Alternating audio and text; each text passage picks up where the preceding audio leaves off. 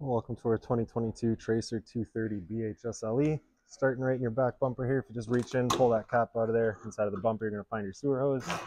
Take note of those two ears in the adapter here, it's how we hooking it up to your sewer system, and the hose itself, once fully extended, is about 20 feet long. Just keeping it stored in the bumper back here to help keep any sort of stench out of the unit, keep things a bit cleaner. In this corner, as well as each corner of the trailer, you're going to find the stabilizer jack. All they do is they run down, contact the ground, give it another turn or so just to firm it up, and that'll get rid of any sort of bounce or sway that you see got in the unit right now, just to keep things firm while you're out camping. A couple of steps forward, you'll find your power inlet. As you pop that open, you get a little notch in the bottom corner there. It's going to line up with this notch here. Press those in together, little eighth turn and lock it down, then you get the threaded collar in the back there to properly lock it into place. As you follow the cord back, you're going to find a standard 30 amp end there. Most campsites have that. You can plug straight on in and you're good to go. We do also provide you with a 15 amp adapter, so if you're looking to plug in at home to charge your batteries or run your fridge, you got the power to do so.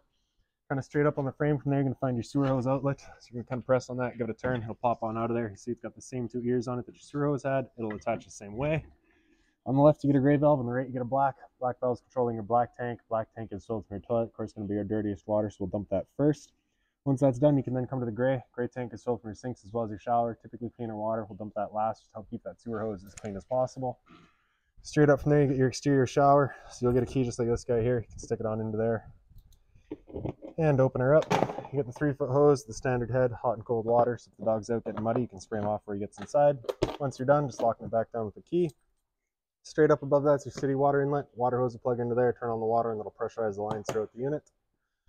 Towards the front of the unit, we get your fresh water inlet. This cap here, you pop that out. Same water hose will plug into there, turn on the water, and that fills up a fresh water tank. The drain for that tank, you can see we got going. Just open up that valve there, allows it to drain itself out. The two lines behind it are just low point drains. So you open those up, allows the water system to drain itself out. And then lastly, there's just a little vent in the back there. So once you see water starting to spit out of that, you know your fresh water tank is full. Cable inlet right here, coax cable plug into there, fires up at your TV location. And underneath that's a Furrion solar panel plug-in. Plug your solar panel into there, charges your batteries. Storage compartments here, magnetic latch holds it open for you. Inside of here, you'll find your water hose. Inside of that water hose, you're gonna find your park adapter, 30 amp to there, 15 to standard outlet. Around front of the unit, get your little service light here on the side, just got a switch on the bottom there. This black box here has got your battery inside of it. As long as you're plugged into that short cord in the back or your 7-pin to tow vehicle, that battery's charging for you. These knobs, if you loosen off and push back, you get access to your propane tanks for the video. Pull this right off, and then I can show you a changeover in the front here.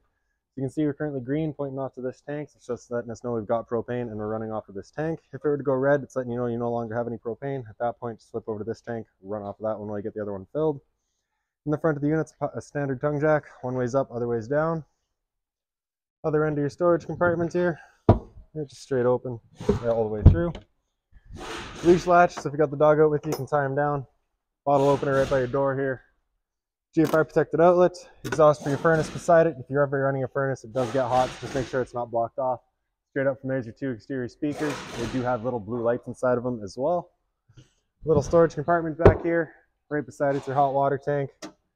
So you can take that keyway there, you line it up and you pop it on open. All your controls for turning it on are just inside the unit. Before we turn it on though, you just want to hit this relief valve right there. Make sure you're getting that water coming out. If you're not getting any water out of there, there's a chance that it's empty and you do run the risk of burning out your elements. You just want to make sure it's full before firing it up. Once you're done, just lock it back down with the keyway. And then to the back of the units here, you get your spare tire. Straight up there, you'll find a pre-wired mount for a rear view or observation camera. So now we'll make our way inside of the units here your assist handle just up 90 degrees and it'll fall into place. Then you can open up your door. You're gonna open that door up wide, and then we can grab this handle here, pull it straight on out, flip that last step over, make our way inside. So first things first, once you get in here, fire extinguishers right on the left. That's standard. Pull the pin, point, and shoot. Straight up from there, you find your lights. One on the right there is to do your speaker light. The one in the center is your awning light, and the one on the left is your interior lights. Straight up above us, we've got your entry light here. So this is a dual function light. It's got a one there, so that's just on is on. Then it's got a two on the right side. That's a dual, that's a uh, motion sensing. So at that point, if it senses a lack of motion for a minute, it'll turn itself off. Once it picks up motion, turn itself back on. Awning is on this switch here. Press and hold out, and that awning will make its way out. Once that awning's fully extended, we're going to see a little black flap come down as well as the black of the metal tube. Once you see that, you're going to stop. If you're to continue extending, it can actually wind itself up backwards, in which case the fabric would be underneath the tube, allowing it to then hold water, accelerating the growth of mold and mildew.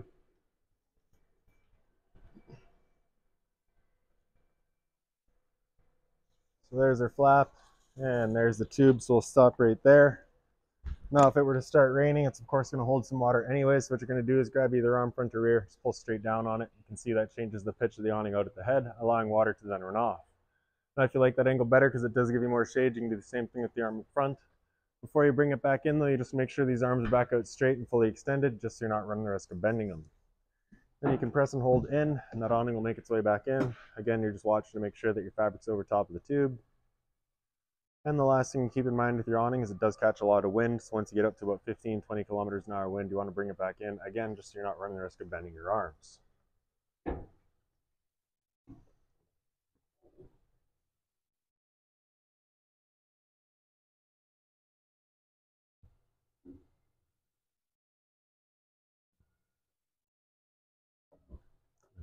Slide out switches right beside it. Press and hold out. And the slide will make its way out. Once that side's fully extended, the motors will just kind of automatically stop themselves and they'll set, they'll set themselves into place.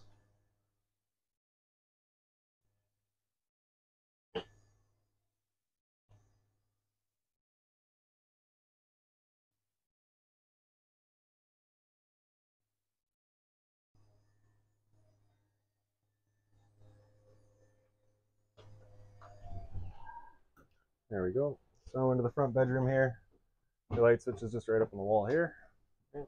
Above my head's your antenna, so I'm just gonna push that in, turn it around, looking for your best signal wherever you find it. You leave it there. Once you're going traveling again, you just want to follow this arrow. Make sure you're fully rotated. Sliding doors, just have little travel latches in the back here. Just making sure that if you're traveling, these guys are sat into place properly. There's also a TV backer back here, so you'd have a little bit of a standoff to keep them separated from the doors there, and you have your TV outlets right up above it. If you pick up the foot of your bed, you do get access to a little storage compartment. And right behind me here, you get your little closet space. In the head of the bed, it's a little light on either side. And then if we just run over to the other side of the bedroom here, get the identical closet space. Blinds throughout the unit, just sit where you leave them. This red tab here, you'd pull that to get rid of the screen, take this handle here, throw it outside, hop on out. That's your emergency exit entertainment area. So your TV backer right there, power outlet for it, as well as your cable and satellite outlet for it, antenna outlet right in the bottom. Turning that antenna on, just that little button there, you get that green light letting you know it is turned on. AV cables are hooked into these stereos, so you can kind of get your surround sound through that. And then on the left side here, you've got your thermostat. Press that power button there, and that'll turn it on. Cool is going to first, of course, turn on the air conditioner. Select your fan speed here, just low, high, or auto. Temp selection just with your arrows there with your air conditioner going, you got two different options. You can have this louver here closed. In this case, we're using all of our ceiling ducting to move the air, or you can open it up and it just dumps all of its air into the living room here. So when you first get out to your campsite, you want that open, cool off this air as quickly as possible, then you can close it off, start moving the air throughout. After cool, if you hit mode, it'll come down into heat. Again, you're selecting your temperature with your arrows there. There's no fan speed here, it's just kind of on is on, and the furnace will be moving its air through all of your little portals that you have throughout the unit. Mode again after heat, come down into fan. You can select your high or low fan. It's of course just moving some air around.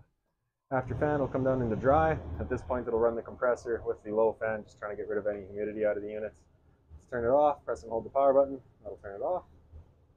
Up from there, get your smoke detector.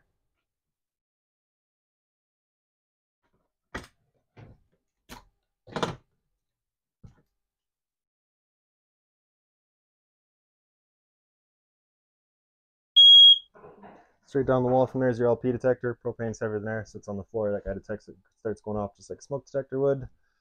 For your stereo here, pretty straightforward. You get your power button there to turn it on. Select to get through all your settings, mode through all your inlets, volume controls on the right side. Zone 1 is the soundbar itself. Zone 2 is your outside set of speakers. A little bit of storage underneath it. Into the slide, your push button light right on the side there. You can see you've currently got it set up as the dinette. If you're to take your table, wiggle it up and out of its legs, the legs will then, or sorry, the tabletop will then sit onto these three ledges here. You'll take your back cushion as well as that filler piece there to create your bed. In the kitchen, you get your storage up top here. That's where you're to find that binder. It's got all of your owner's manuals in it, any remotes, any keys, anything like that you're to find right in there. Right underneath it, you get a little light.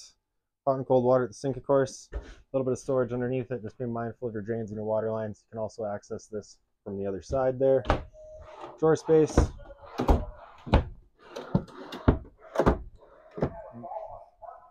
Microwave, pretty standard, just like home. Range vent underneath it as well. Bifold cover for your stove. You're just going to flip that on back, take your knob over to the little flame, the igniter, and it fires right up. Once you're done, just turning it back to off, letting it cool down, and then closing off the cover there. For the oven, you're going to flip it open, grab that knob there, turn it over that little flame, just hit that igniter. You can see that pilot light gets going. Once you have it going, you just hold the knob for another second, then you can release and the flame will hold itself.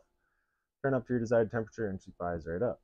Once you're done, you're just going to turn it back down to pilot. It'll hold just a pilot for you. But if you're going traveling, you want to make sure it's right off. The one there in that switch is for your knobs. Two is going to do the knobs as well as the oven. Underneath all that, you get your converter. Press the top and center, it'll pop on open. All of your breakers in the middle here. Whenever a breaker breaks, it sits in the center, so just turn it off and then back on to reset it, and all of your fuses are on the right side. Whenever a fuse pops, you'll get a little red LED right beside it letting you know exactly which one went. 12 volt fridge here, so as long as your batteries are charged or charging, this guy's going for you. Underneath it's the return air for your furnace, just kind of making sure it's not blocked off. The two bunk spaces in the back here are both identical. You just get the little push button light in the side. Right. Doghouse storage underneath. And then in the bathroom here, you have those kind of dual function lights again. You get your medicine cabinets here. Underneath it, you'll find your monitor panel. Bottom right corner is your water pump switch. As you turn that on, draws out a fresh tank to pressurize your lines. Battery, you can see we're currently C for charging. G would be good. F is fair. L is low. Your fresh tank, as you fill that up, will go to a third, two thirds, and full. Same idea for your black and your gray tanks. Little thunderbolt in the bottom left corner here just lets you know you're firing it up with that uh, hot water tank with electricity. Flame on the right side, letting you know you're firing it up with propane this red light there were to come on, it's just letting you know it hasn't fired up at that point, just off, back on to reset it. Hot and cold water at the sink, kind of right around the corner from there. It's GFI protected outlet, test on the left, reset in the center. So if you ever have outlets that don't work, it's the first thing you should check. Toilet just flips on open, you get your flusher front and center, and then in the shower, you get the nice stainless head and hose, hot and cold water, of course. Straight up above our heads is a roof vent. You're just turning that knob to open it up. Back corner, you get the switch turns on the fan. And then lastly is just kind of your pantry space here. Simple as that. If you've got any other questions on the unit, please feel free to give us a call, 204 237 7272.